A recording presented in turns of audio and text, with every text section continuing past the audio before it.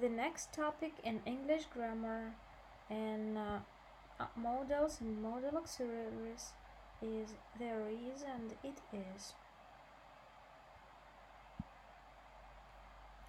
There is, there's, and it is, it's. There is, there's. There is is used to introduce the subject in sentences with the verb be, so the subject is put behind be. There is someone at the door. There is a church in the town. There was a storm last night. It is, it's. Here, the personal pronoun it is the subject in the sentence followed by the verb be. It is old. It's time to go. It was stormy last night. Examples.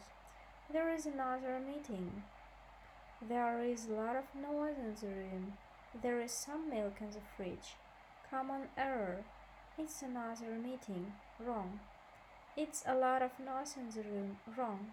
It's some milk in the fridge. Wrong. Thanks for watching.